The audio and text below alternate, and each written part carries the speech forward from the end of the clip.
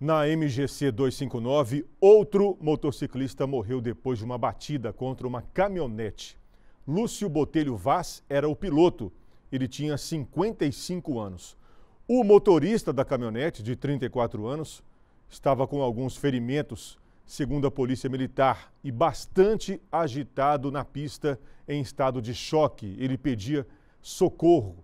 Ele foi levado para um hospital, recebeu atendimento médico e em seguida foi liberado para outros esclarecimentos a respeito desse acidente. Testemunhas contaram para a polícia que ele seguia sentido a cidade de Gonzaga, onde em uma curva fechada teria perdido o controle da direção, foi para a contramão e bateu de frente na moto. Mas somente a perícia da Polícia Civil poderá confirmar as causas reais desse acidente.